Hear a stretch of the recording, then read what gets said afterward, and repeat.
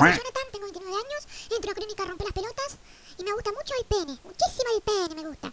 Me encanta el pene. Imagínate,